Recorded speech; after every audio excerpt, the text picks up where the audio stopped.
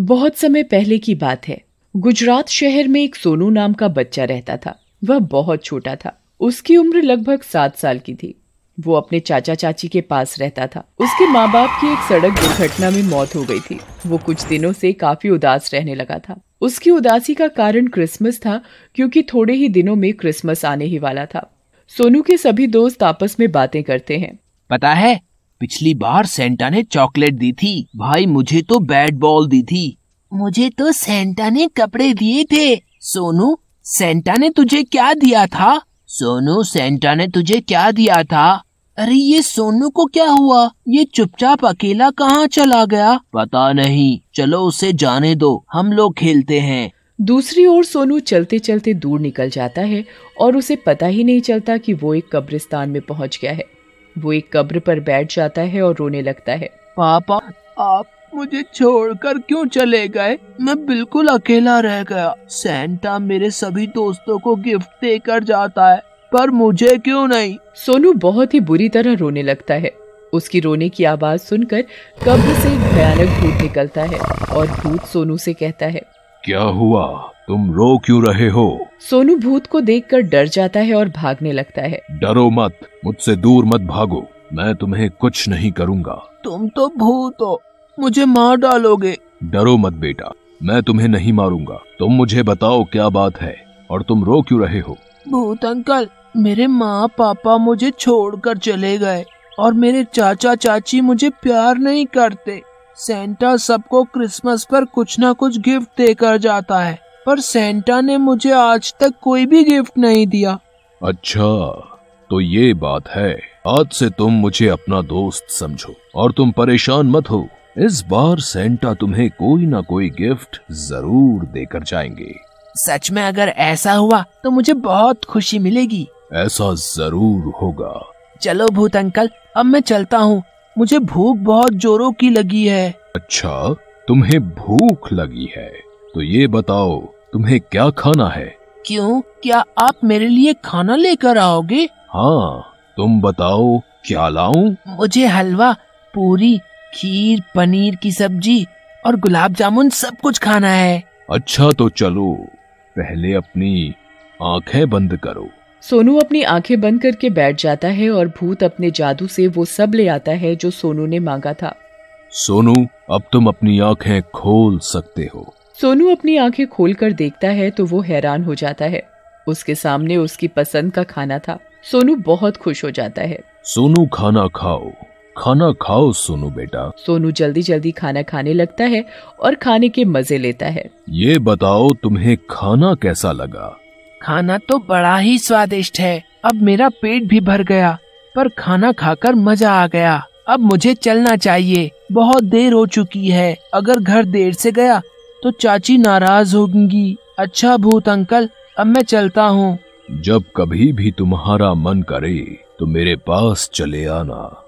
ज़रूर भूत अंकल। सोनू भूत को बाय करके अपने घर पहुँच जाता है। सोनू की चाची सोनू को बहुत बुरी तरह डांटती है। कहाँ चले गए थे तुम? तुम्हें पता भी है कितना समय हो रहा है? अभी तो बाज़ार से सामान भी लाना है वो कौन लाएगा? चाची मैं अभी ले आता हूँ। सोनू सामान लेने बाज़ार चला जाता है और बाज़ार से सामान लाकर अपनी चाची को दे देता है। सोनू की चाची सारा सामान चेक करती है और सोनू से कहती है इसमें शैम्पू की बोतल तो है ही नहीं। एक काम बोलो तुमसे वो तो ठीक से होता नहीं। और ये क्या? पैसे भी कम है। बाकी पैसे कहाँ हैं? बताओ। चाची आपने जो जो सामान बताया था मैं वो सब ले आया हूँ। लिस्ट में तो शैम्पू की बोतल थी ही नहीं। मुझसे ज़ुबान लड़ाता है। और जो पैसे कम लाए हो बाकी के पैसे कहाँ हैं? ज़रूर तुमने चीज़ खाई होगी। तुझे तो आज मैं मज़ा चखाऊँगी। सोनू की चाची सोनू को बहुत बुरी तरह मारने लगती है। चाची मुझे मत मारो। मेरी कोई गलती नहीं है मुझे छोड़ दो। मुझसे ज़ुबान लड़ाता है कि तेरी कोई गलती नहीं है। तो क्या मैं झूठ बोल रही हूँ? तुझे तो मैं आज ऐसा सबक सिखाऊँगी तो याद रखेगा।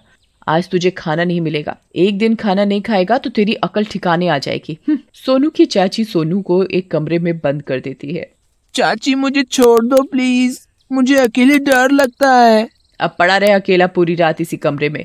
मैं भी देखती हूँ तुझे कौन बचाता है। सोनू रात को अकेले कमरे में बंद रोता रहता है। माँ पापा आप मुझे अकेला छोड़कर क्यों चले गए? मुझे आपकी बहुत याद आती है। मुझे आपकी बहुत ज़रूरत है। सोनू रोते रोते सो जाता है और सुबह होते ही सोनू की चाची कमरे का दरवाज़ा खोलती है और सोनू से कहती है क्यों सोनू? रात तो बढ़िया कटी होगी और अभी तो तुम्हारी अकल भी ठिकाने आ गई होगी।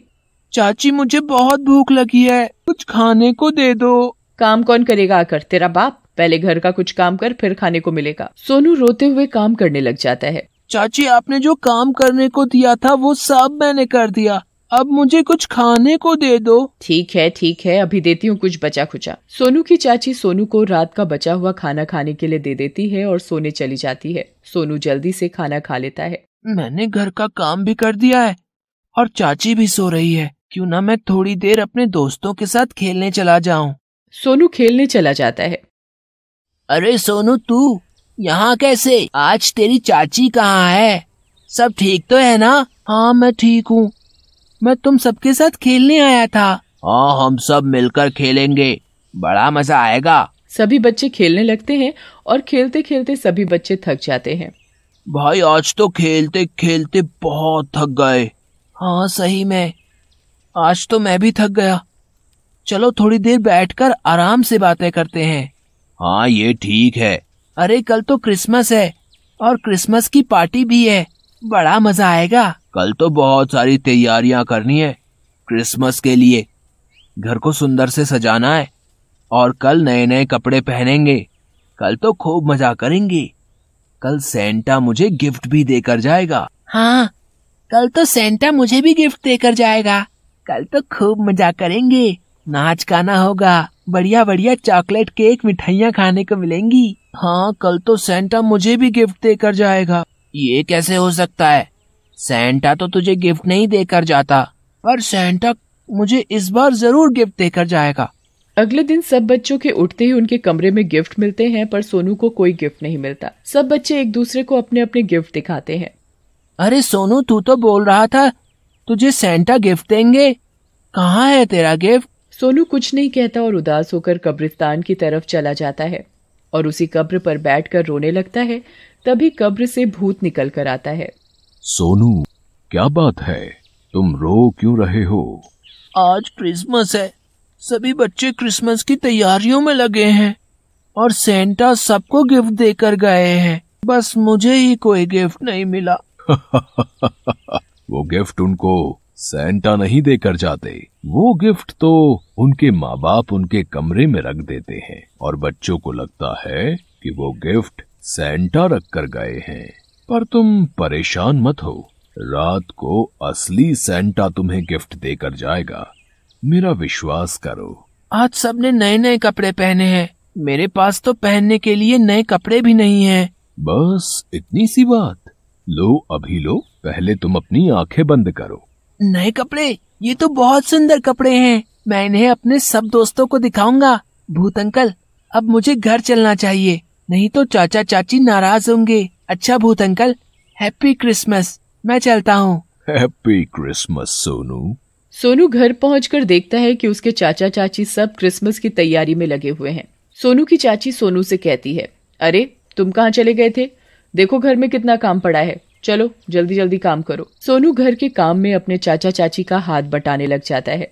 क्रिसमस पर पूरा शहर रोशनी से जगमगा रहा था। चारों ओर सजावट ही सजावट थी। सभी लोग अपने अपने घरों में क्रिसमस मना रहे थे। तभी सोनू के घर मोंटी आता है। सोनू देखो मेरे नए कपड़े। अरे यार तेरे कपड़े भी मस्त लग रहे हैं। सोनू अपने कपड़े की तारीफ़ सुनकर खुश हो जाता है और फिर मोनू भी आ जाता है और वो सब लोग मिलकर नीचे पार्टी करने लगते हैं। पार्टी करते करते रात हो जाती है और सब बच्चे अपने अपने घर चले जाते हैं। सोनू सेंटा क्लॉज का इंतज़ार करते करते सो जाता है और रात को भूत सोनू के कमरे में सेंटा क्लॉज बनकर आता है। भूत सोनू के पास बैठ जाता है और गाना गाता है। Jingle bell jingle bell jingle on the way Santa Claus is coming around riding on the sleigh तभी सोनू की आँख खुल जाती है। Santa uncle Santa uncle merry Christmas merry Christmas बच्चे। सेंटा अंकल सेंटा अंकल आप मेरे लिए क्या लाए हो? बोलो सोनू बेटा तुम्हें क्या चाहिए? मुझे एक साइकिल एक घड़ी और बहुत सारी चॉकलेट चाहिए। पर सेंटा अंकल आप मुझे ये सब सारी चीज़ें दोगे तो मेरी चौची ले लेगी। नहीं लेगी। भूत अपनी पोटली में से साइकिल घड़ी और बहुत सारी चॉकलेट सोनू को देता है। डंडा मेरी तरफ़ से तुम्हारे लिए गिफ्ट। साइकिल घड़ी चॉकलेट गिफ्ट पाकर सोनू बहुत खुश होता है। सेंटा अंकल ये डंडा किस लिए? जब कभी भी तुम्हारी चाची तुम्हें मारेगी या परेशान करेगी तो तुम अपने मन ही मन ये बोलना, चल डंडे, दिखा अपना कमाल, और फिर तुम्हारी चाची तुझे कभी परेशान नहीं करेगी। फिर भूत सोनू को अपनी गाड़ी में बिठाकर पूरे शहर की सैर कराता है। पूरा शहर लाइटों से जगमगा रहा था और भूत सोनू को वापस सोनू के कमरे में छोड़ देता है, और फिर उसे नींद आ जाती है और भूत वहाँ से गायब हो जाता है। अगले दिन सोनू अपने सभी दोस्तों को अपने गिफ्ट दिखाता है। अरे वाह सोनू तुम्हारे गिफ्ट तो बहुत अच्छे हैं। सोनू के गिफ्ट देखकर मोंटी और मोनू अपने घर चले जाते हैं और तभी सोनू की चाची आ जाती है। इतने महँगे गिफ्ट बता कहाँ से चोरी करके लाया है? बता नहीं तो बहुत मारूँगी। मैंने चोरी नहीं की है चाची ये गिफ्ट तो मुझे सेंटा अंकल ने दिए हैं। तू ऐसे नहीं मानेगा। अभी तुझे मज़ा चखाती हूँ। सोनू की चाची सोनू को मारने लगती है। सोनू अपने मन ही मन कहने लगता है। चल डंडे दिखा अपना कमाल। ऐसा कहते ही डंडा सोनू की चाची को ज़ोर ज़ोर से मारने लगता है। हाय रे मर गई। मार डाला मुझे इस डंडे ने। कोई रोको इसे। मैं अब से सोनू को कभी नहीं मारूँगी। कोई मुझे बचाओ बचाओ मुझे। इतना कहते ही डंडा अपने आप रुक जाता है और सोनू की चाची भी सुधर जाती है। और भूत को भी एक नेक काम करने से मुक्ति मिल जाती है।